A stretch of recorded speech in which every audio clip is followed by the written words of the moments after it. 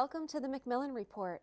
I'm Marilyn Wilkes, host, and our guest is Priya Natarajan, a professor in the departments of astronomy and physics at Yale University. Professor Natarajan is a theoretical astrophysicist interested in cosmology, gravitational lensing, and black hole physics. Her research involves mapping the detailed distribution of dark matter in the universe, exploiting the bending of light en route to us from distant galaxies. However, we are not here today to talk to Professor Natarajan about astronomy and physics. We are going to talk with her about gender parity issues. Professor Natarajan is the current chair of the Women Faculty Forum at Yale, and she recently co organized, along with Judith Resnik and Reva Siegel at the Yale Law School, the very first Gruber Conference titled Parity as Practice The Politics of Equality. Welcome, Professor Natarajan. Thank you very much. What led you to organize this conference? Why do you think it is important to have done it? Well, first of all, uh, it was a unique opportunity to kick off sort of the Gruber Fellowship Program moving to Yale. Mm-hmm.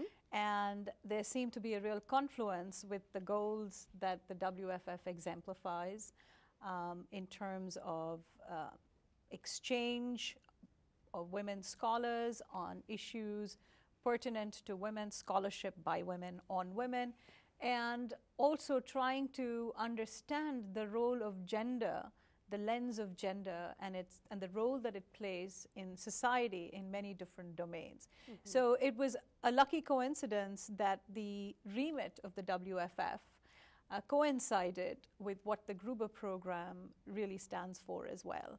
So we decided to have this interdisciplinary conference, sort of an unprecedented one, mm-hmm. to really um, kick off a very new and important and potentially powerful conversation. And what were some of the issues or areas that you examined during the conference? So, the notion of gender parity is understood quite differently in different domains. Okay, explain that. Yeah. So, for example, um, and you know, understood differently in different domains in the public sphere, in the political sphere, in universities, and in the domestic sphere. Mm-hmm. And of course, on top of that layering, there's a real difference in the understanding, which is culturally based. So across the world, there are very different notions of what gender parity means and what it might look like. Mm-hmm. So we started off the conference really trying to examine what the differences and the similarities are in our notions of parity for all of us situated in very different places mm-hmm. uh, in the university. My particular interest is, of course, looking at women in universities and uh, in academia. Uh, in particular, trying to understand what are sort of the systematic difficulties that women might face mm-hmm. and how universities, what they could actually do to ensure gender parity and sort of a more level playing field. Mm-hmm. But we examined many different domains. So we looked at uh, the political sphere, mm-hmm. looking at the representation of women. You know, there are some countries in the world, in the US, we don't have parity laws, but in many countries of the world, Spain, France, India, Norway, and Turkey, they're experimenting legally with set asides and quotas. Mm-hmm. And so we looked at that. We looked at the experience of how useful they have been in places and how they worked. We looked at the corporate world, where again, in some Nordic countries, there are um, requirements that there should be 40% of the board of a corporate board mm-hmm. should be women. You know, that's been in place for a short time, but we wanted to examine how that's worked mm-hmm. and whether that's an interesting and useful intervention. Right. Curious, it's 40%, not 50%. That's right, mm. that's right.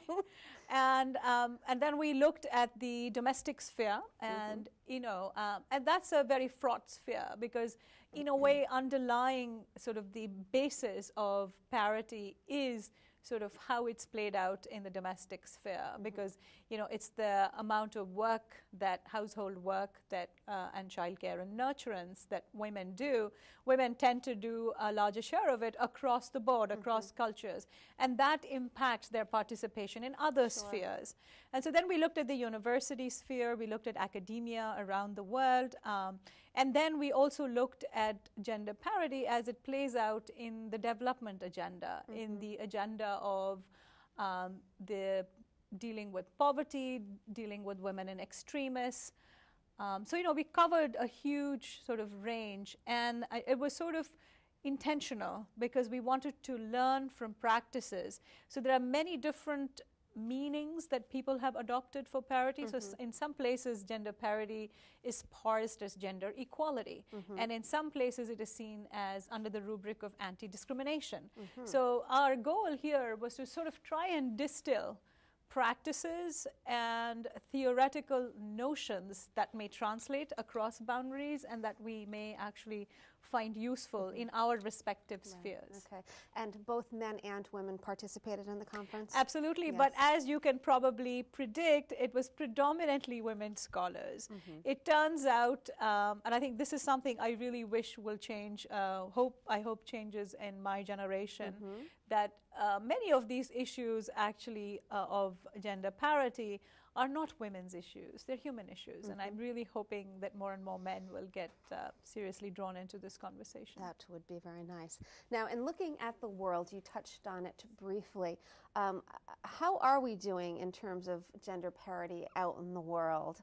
Um, I would imagine some places are better than others, but is it is it is it more is it better or is it worse um, percentage you know 50-50 you know countries kind of are you know, moving in the right direction, or is it less than that? Well, you know, it's very hard uh, because the, there are various axes along which you could measure mm-hmm. uh, gender parity, right? Uh, and I think it would be fair to say that uh, it gender parity remains an aspiration mm, everywhere. Yes. It's not quite the reality. And I think there are a lot of contradictions, right? So you may have countries where you've had a woman head of state, but doesn't doesn't necessarily imply that the playing field for a normal middle class woman is any more level or an impoverished woman is any is in a, any better situation. Mm-hmm. So I think how we measure, um, you know, which country is doing um, better on gender parity issues is not so much a sort of a national country-wide index, but I think along domains we mm-hmm. can see. And I think it would be fair to say that women have made great strides mm-hmm. in all domains. But sadly, there are still parts of the world where personal safety, violence against women, and sort of inequities in how the law treats uh, a man and a woman with respect to marriage, property, etc., are still there. Mm-hmm. Uh, in terms of, of the, the participants in the conference, I'm curious if, in talking about countries that have um, put some kind of laws around gender issues, do, do people seem to think that that works better, that's more helpful towards um, moving the, um, the issue along, so to speak? So um, it's very interesting that you asked this because this formed one of the sort of heated debates in the mm-hmm. conference. And the, and the debate really rests around the justification. So we were trying to look for, so there's a rights theory justification for why we need to be in a just world and everyone needs to be treated the same mm-hmm. and that we form 50% of the population and so on. But you know, there has been um, a very strong thread in society where women have argued that um, on the outcome of increased participation. I personally feel that you know, there is a justification for aspiring for gender parity regardless of the outcome. Mm-hmm. So I think the question of whether having 40% women in parliament actually translates into being better for women overall is not the question to ask, really. It's hard to assess. Mm-hmm. And I think the report on that is mixed. Uh, for instance, in local government, uh, for example, in India, where they required 50% women, mm-hmm. um, some studies show that uh, women, once they are elected into these positions, tend to focus on issues that are tantamount and important to them, like water. So, water is an issue in India, and women often are carry water to, for their households. Mm-hmm. So women in these local governments tended to use start off with water as a priority. However, it's it's a, as I said, it's mixed because if you look at the Nordic countries, what they found is when you had 40% women in the national legislature. So we're talking about the national level, mm-hmm. not the local level here for the first six months or so, we heard reports that women focused on what we would see as traditional sort of women's agendas. But then within six months, there was actually no difference, and men and women pushed very, very similar agendas. So I think the question of whether the outcomes are better for women is a fraught question. And I think what we really need to focus on is that having a more sort of even participation is good for society as mm-hmm. a whole. Right, right. So, what were some of the outcomes of the conference? So, in one of the interesting, you know, so first of all, having a conference like this with uh, all these different voices mm-hmm. representing so many exemplary scholars and activists was a feat in and of itself. Sure.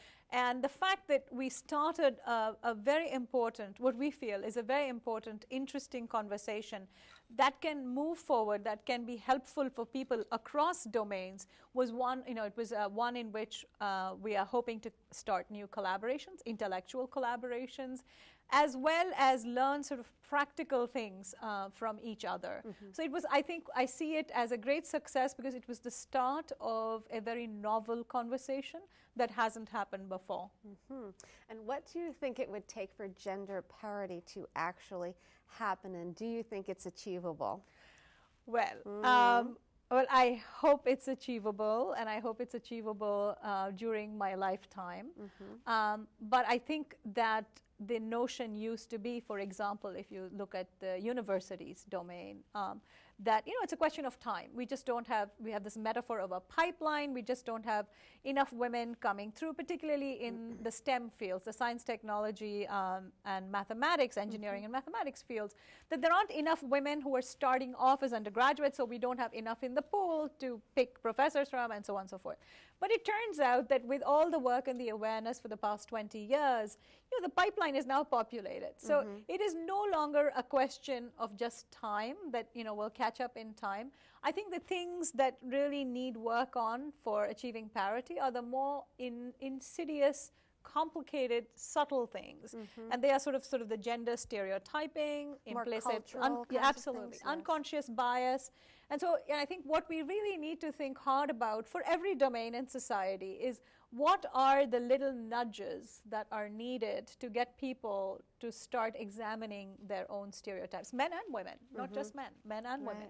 And how do you facilitate those nudges? Absolutely. Is, uh, and how do you incentivize thing. them? How do you first make people aware of them, and then how do you incentivize people to actually change? And as you can imagine, right, um, in the domain of um, science, in STEM fields, it's particularly difficult because in these disciplines, which uh, we all as practitioners feel that we are objective, we are just, and we are fair, and that we have very clear criteria to understand what is good scholarship and what isn't.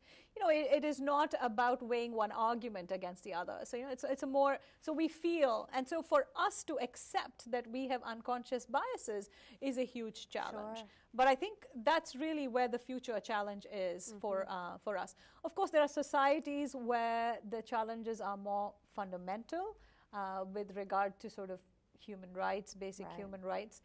But you know, as I said, the challenges are very different in very uh, in in the various domains. Mm-hmm. But um, I think there's no escape that even once we get the numbers up, that there are other more subtle barriers that we need to tackle, and right. that's the real challenge for the future. Okay, very good. Thank you so much for being here today and um, sharing some of the uh, work that was done at the conference. Thank you so much. I'm happy to be here. For more information about Professor Natarajan and her work, please visit our website at yale.edu backslash Macmillan Report. Be sure to join us again for another episode of the Macmillan Report, made possible through funding from the Whitney and Betty Macmillan Center for International and Area Studies at Yale.